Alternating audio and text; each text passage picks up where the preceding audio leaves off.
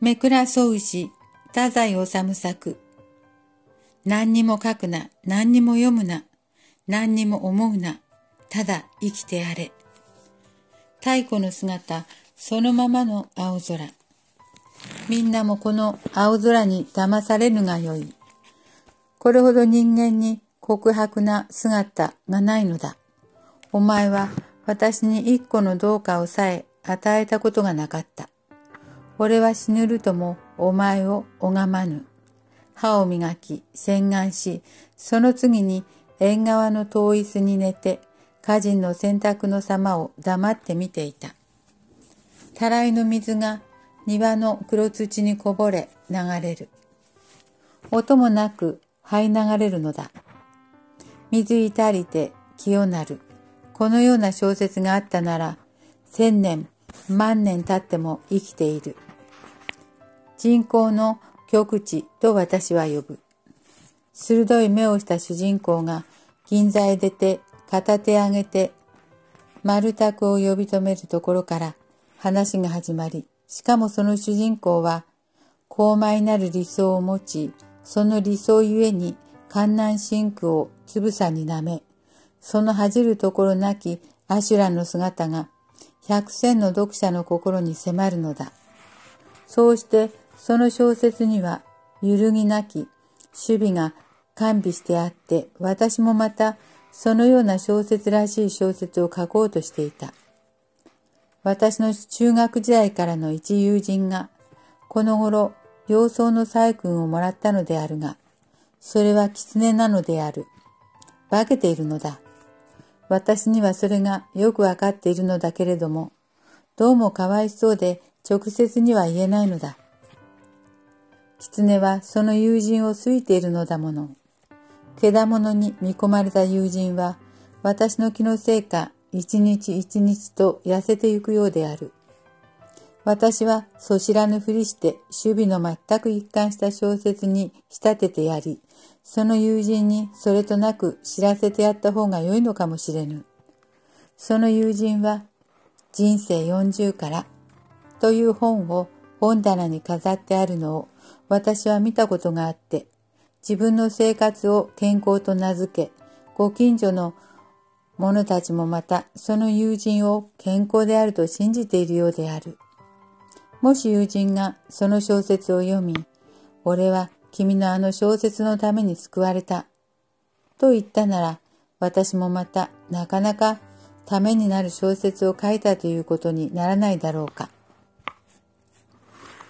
けれどももう嫌だ。水が音もなく這い、伸びている様を今、この目で見てしまったから、もう山氏は嫌だ。お小説、百編の傑作を書いたところで、それが私において何だというのだ。約三時間。私は眠っていたのではないのだよ。そうだ、お前の言葉を借りて言えば、私は思いに沈んでいたのである。私は枕草子のページを探る。心ときめきするもの。すずめの子がい。血を遊ばするところの前渡りたる。良き滝物滝って一人伏したる。空の鏡の少し暗き見出たる。うんぬん。私、自分の言葉を折ってみる。目にはおぼろ、耳にも定かならず。しょっちゅうに聞くすれども。いつとはなしに、指股の間よりこぼれうせる様の、誰にも知られぬ、姫に秘めたる虚しきもの。わざと三円の尺線を返さざる。我は貴族の子ゆえ。真白き女の羅針横たわりたる。生き物の悲しみの象徴ゆえ。我が綿棒の類なく。惜しく凛々しく思われたる。お祭り。もうよし。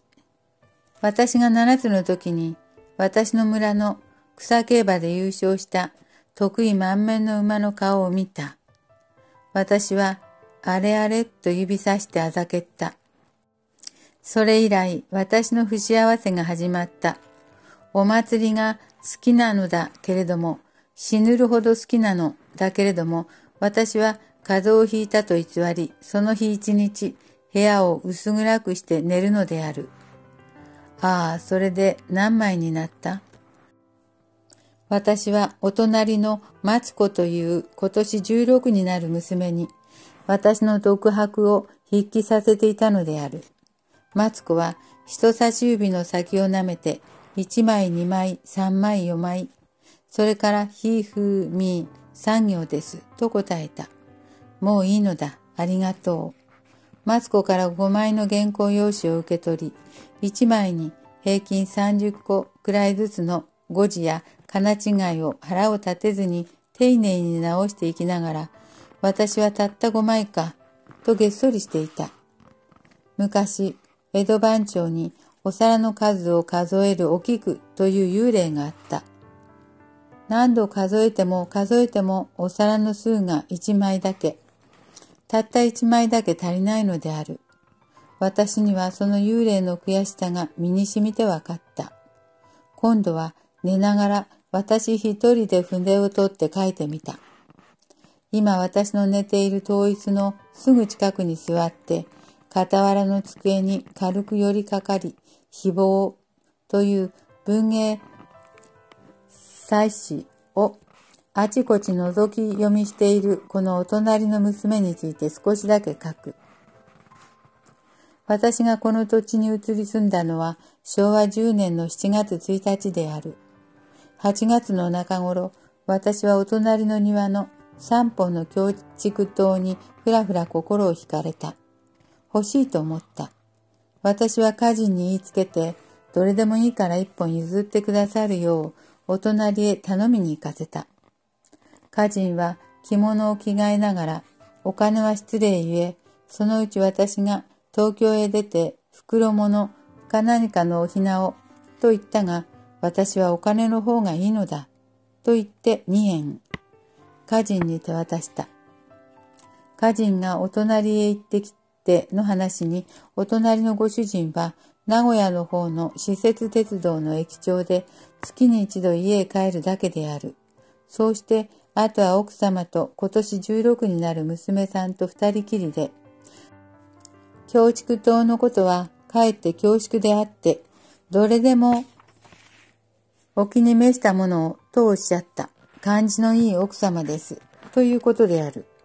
あくる日、すぐ私はこの町の植木屋を探し出し、それを連れてお隣へお伺いした。つやつやした子作りの顔の40歳くらいの婦人が出てきて挨拶した。少し太って愛想の良い口元をしていて、私にも感じが良かった。三本のうち真ん中の京畜島を譲っていただくことにして、私はお隣の縁側に腰をかけ話をした。確かに次のようなことを言ったと覚えている。国は青森です。京畜島など珍しいのです。私には真夏の花がいいようです。ネム、サルスベリ、葵、ひまわり、京畜島、ハス、それから鬼ゆり、夏菊、毒ダミ、みんな好きです。ただ、木毛だけは嫌いです。私は自分がウキウキとたくさんの花の名を数え上げたことに腹を立てていた。不覚だ。それきりふっと一言も口を聞かなかった。帰りしなに、サイ君の背後にじっと座っている小さな女の子へ、遊びにいらっしゃいと言ってやった。娘は、はぁと答えて、そのまま静かに私の後ろについてきて、私の部屋へ入って座った。確かにそんな具合であったようである。私は多少いい気持ちで教畜長などに心を惹かれたのを悔しく思っていたので、その木の植え方一切家人に任せ、八畳の居間でマツコと話をした。私にはなんだか本の2、30ページ目あたりを読んでいるような、アットホームな暖かい気がして、私の姿勢を忘れて話をした。あくる日マツコは私のうちの郵便箱に4つに畳んだ西洋紙を投げ込んでいた。眠れず私はその朝、家人よりも早いくらいに寝床から抜け出し、歯を磨きながら新聞を取りに出て、その紙切れを見つけたのだ。紙切れにはこう書いていた。あなたは尊いお人だ。死んではいけません。誰もご存じないのです。私は何でもいたします。いつでも死にます。私は朝ごはんの時に家人へその紙切れを見せ、あれはきっといい子だから毎日遊びに起こすようお隣へお願いしてこいと言いつけた。マツコはそれから毎日欠かさず私の家へ来た。マツコは色が黒いからサンバさんにでもなればよいとある日私が他のことで怒っていた時に言ってやった。そんなに醜く黒くはないのだけれども、鼻も低いし、美しい綿棒ではない。ただ、唇の両端が冷りそうに上へめくれ上がって、目の大黒く大きいのが取り柄である。死体について家人に問うと、16ではあれで大きい方ではないでしょうかと答えた。また、身なりについては、いつでも小ざっぱりしているようじゃございませんか。奥様がしっかりしていますもの。ですから、と答えた。私は待つこと話をしておれば、たまたま時を忘れる。私、18になれば、京都へ行ってお茶屋に勤めるの。そうか、もう決まってあるのか。お母様のお知り合いで、大きいお茶屋をしているお方があるんですって。お茶屋というのはどうも料亭のようであった。父が駅長をしていてもそうしなければならないのかなそうかなと断じて不服に思いながら、それでは女中じゃないか。ええ、でも京都では由緒のあるご立派なお茶屋なんですって。遊びに行ってやるか。ぜひとも力を入れていた。それから遠いところを見ているような眼差しでぼんやりつぶやいた。お一人きりでおいでなさいね。その方がいいのか。うん。袖の端をつまぐるのをやめてうなずいた。大勢さんだと私の貯金が割合と早くなくなってしまうから。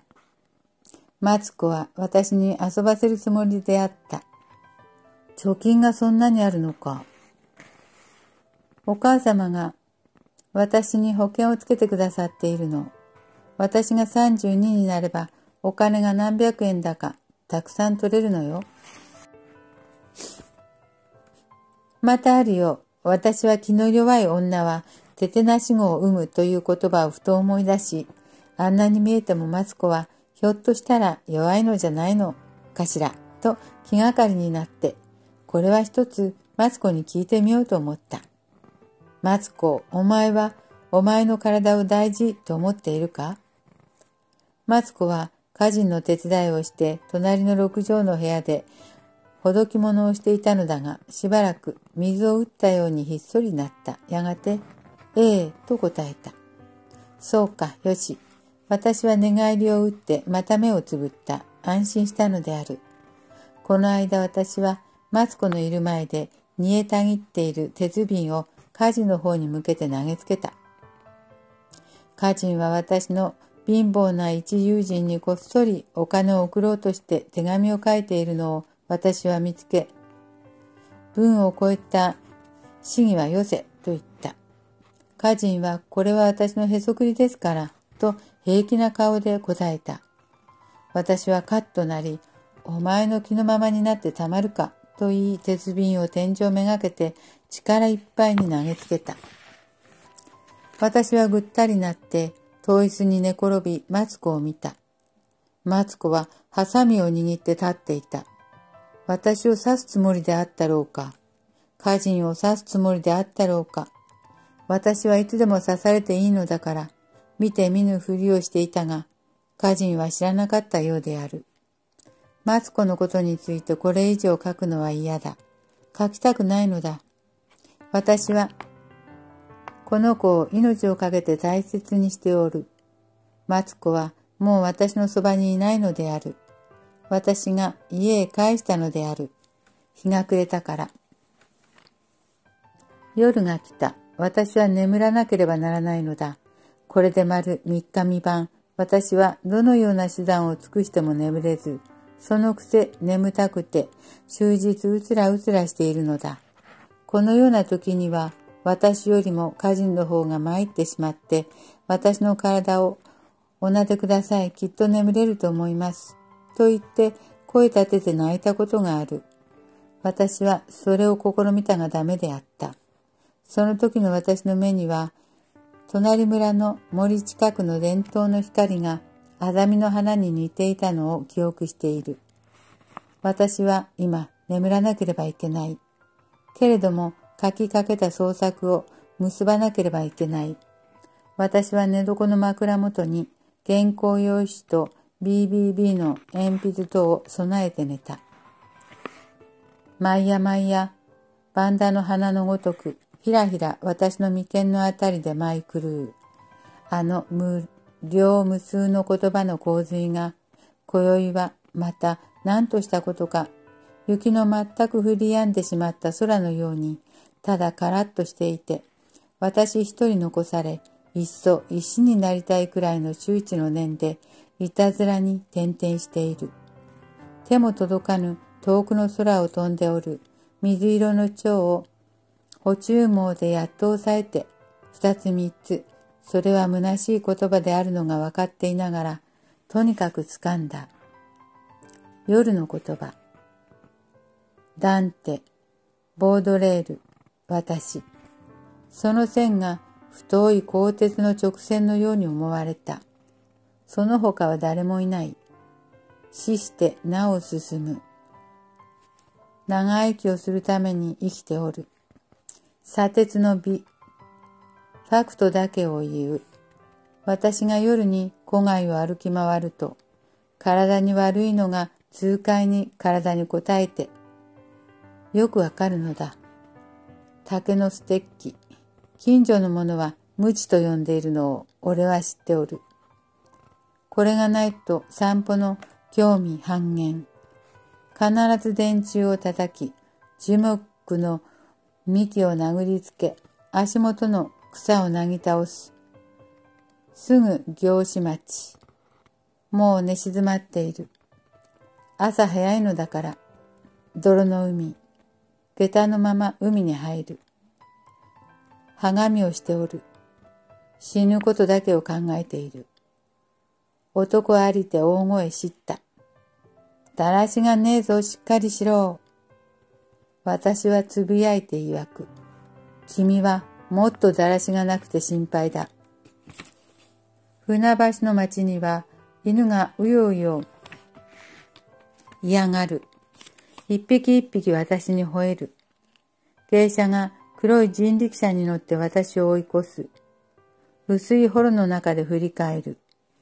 8月の末、よく見ると、いいのね、と、皮膚の汚い芸者二人が私の噂をしていた、と、家人が銭湯で聞いてきて、27、8の芸者衆にきっと疲れる顔です。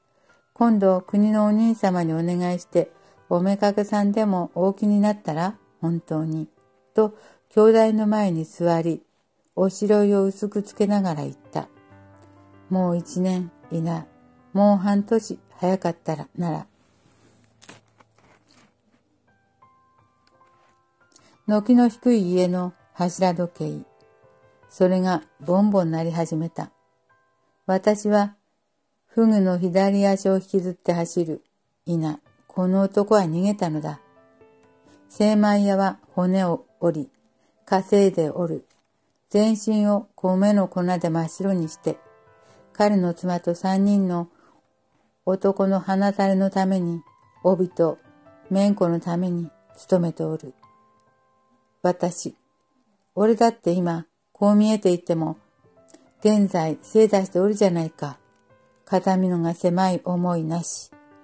狭いの機械の音。佐藤春夫曰く、悪趣味の極端、従ってここでは誇張されたるものの美が目論まれておる。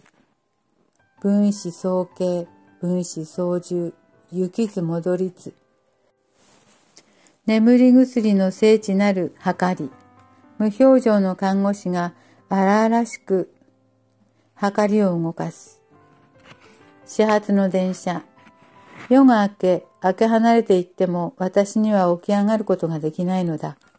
このように具合の悪い朝には、家人に言いつけてコップに少しお酒を持ってこさせる。もう起きて歯を磨かなければいけないという思いは、これは白々しくって悲しいものだ。そんな時子供は、おめざを要求する。私にとっては、厳粛なるお酒を舐めながら、私は庭を眺めて渋い目を見張った。庭の真ん中に一坪くらいの扇形の花壇ができておるのだ。そろそろと修霊、身に耐え難くなってきた頃、庭だけでも賑やかにしようといつか私が一言、家人のいる前でつぶやいたことのあるのを思い出した。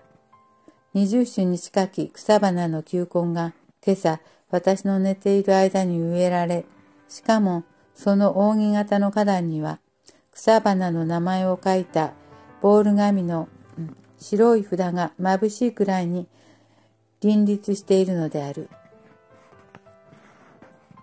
ドイツスズラン、一発、クライミング、グローズ、ワバー、クンシラン、ホワイトアマリリス、西洋、ワタ、風、流星蘭、長太郎ゆり、ヒアシンスグランド命名、リューモンシス、カノコユリ、長生蘭、ミスアンラース、電光種バラ、色先ボタン、ミセスワン種チューリップ、西洋芍薬雪のこち、黒竜ボタン、私はいちいち枕元の原稿用紙に書き記す。涙が出た。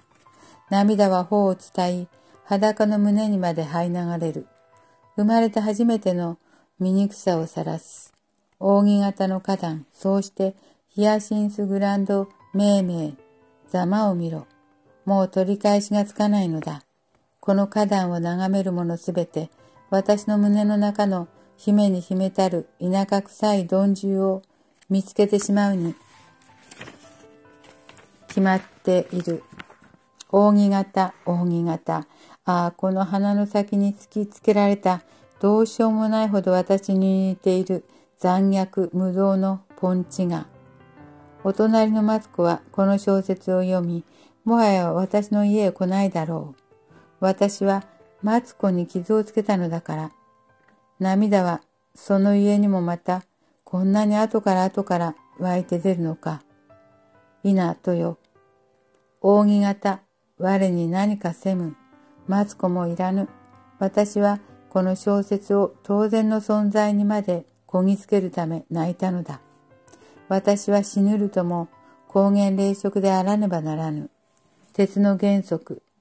今、読者と別れるにあたり、この18枚の小説において、十死に余る自然の草木の名称を挙げながら、私はそれらの死体について心にもなき、ふやけた描写を一行、いな。一句、打にしなかったことを高い誇りを持って言い得る。さらば行け。この水や君の器に従うだろう。